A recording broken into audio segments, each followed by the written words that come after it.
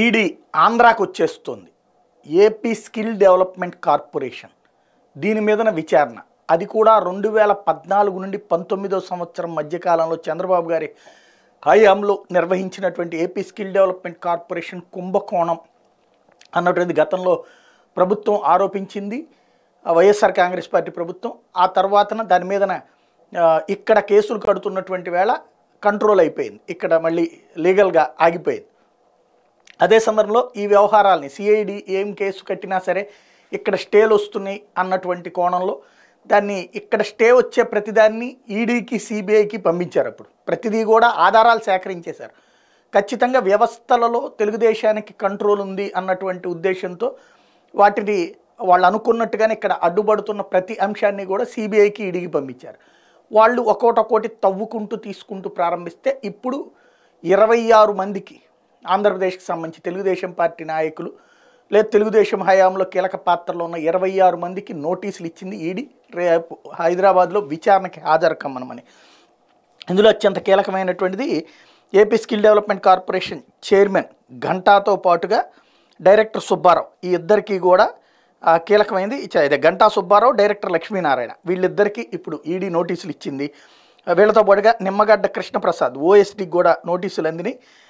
ఇందులో ప్రధానంగా ఏంటంటే చైర్మన్ గంటా సుబ్బారావు వచ్చేటప్పటికి ప్రతీక్ ఇన్ఫోకి డబ్బులు మళ్ళించుకున్నారు తన సంస్థ సంస్థకి సంబంధించి. అట్లాగే మరొక వైపున ఇందులో మరొక వ్యక్తి అయినటువంటి అంటే లక్ష్మీనారాయణ వచ్చేటప్పటికి ఐటీ స్మిత్ సొల్యూషన్స్ అనే పేరుకి డబ్బులు మళ్ళించుకున్నారు. ఎవరి ఈ డబ్బులన్నీ? అంటే రెండు వందల ముప్పై నాలుగు కోట్ల రూపాయలు రాష్ట్ర ప్రభుత్వానికి సంబంధించినటువంటి డబ్బులు.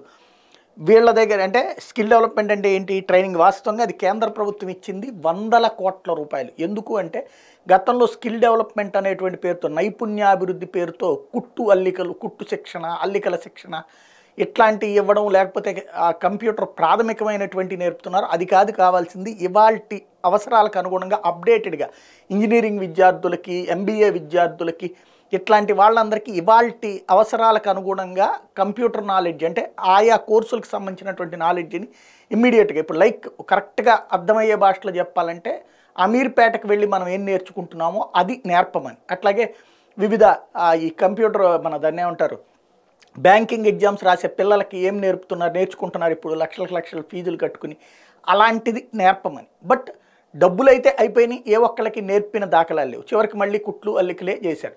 ఏమైపోయినాయి ఈ డబ్బులన్నీ? నిజంగా ఐదేళ్ళలో అందరికీ కనుక అయితే అద్భుతంగా ఈవేళ ఉద్యోగావకాశాలకి ఎగబడి వచ్చేటువంటి సందర్భంలో రాకుండా పోవడానికి కారణం ఏంటంటే ఇదే.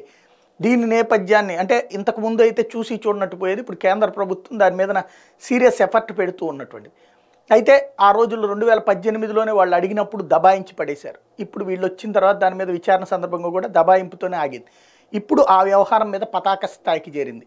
ఈడీ నోటీసులు ఇవ్వటం. అది కూడా రెండు వందల ముప్పై నాలుగు కోట్ల రూపాయలు దారి మళ్ళీ అంటాం ఇప్పుడు వీటిట్లో బయటపడింది ఏంటంటే షెల్ కంపెనీలు. అంటే ఊరు పేరు లేకుండా ఎక్కడో ఒక అపార్ట్మెంట్లో ఒక చిన్న దీంట్లో ఉన్నట్టుగా లెక్కలు చూపెడుతూ డబ్బులు దానికి దారి మళ్ళేటువంటి వ్యవహారం ఏదైతే ఉందో ఆ సంస్థలకి షెల్ సంస్థలకి డబ్బులు వెళ్ళిపోయినాయి అన్నటువంటి విషయం బయటపడింది. ఇప్పుడు దాని మీదన విచారణ ప్రారంభిస్తున్నారు. ఆంధ్రప్రదేశ్లో బాబుగారి హయాంలోని చట్టబద్ధంగా ప్రారంభమైన మొదటి కుంభకోణం అంటే ప్రభుత్వానికి సంబంధించి. ఇంతకుముందు మొన్ననే చూసాం ఏదైతే ఆయన పేరేంటి జేసీ ప్రభాకర్ రెడ్డికి సంబంధించి ఈడీ నోటీసులో ఒక వ్యవహారం అయితే తాజాగా ఎన్ఆర్ఐ వ్యవహారం అయితే అది అవి రెండు ఇండివిజువల్ అవుతాయి. వాళ్ళ వాళ్ళ అందులో పార్టీ నాయకులే వ్యక్తిగతం అవుతుంది ఇప్పుడు ఇది డైరెక్ట్గా ప్రభుత్వపు కుంభకోణం. ఇక రాబోయే రోజుల్లో ఇంకెన్ని మారుతాయో చూడాల్సి ఉంది.